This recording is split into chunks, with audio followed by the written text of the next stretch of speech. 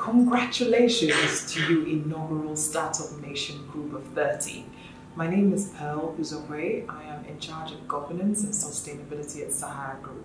I am absolutely devastated that I cannot be there with you today because as you might know, entrepreneurship is something that we are incredibly passionate about at Sahara Group.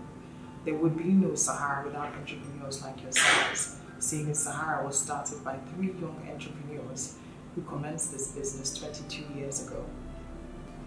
Startup Nation is in commemoration of the 2018 Global Entrepreneurship Week.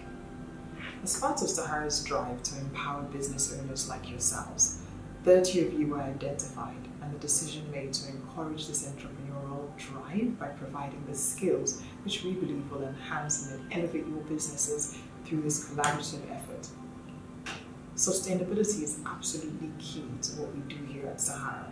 So besides this first day of classroom skills, what we hope to do over the next six months is partner each one of you with a mentor that have been carefully pre-selected they will equip you with the skills required to succeed in building sustainable businesses and feed into the Sahara Hub, ensuring the knowledge gained is transferred. We wish you the absolute. Congratulations once again.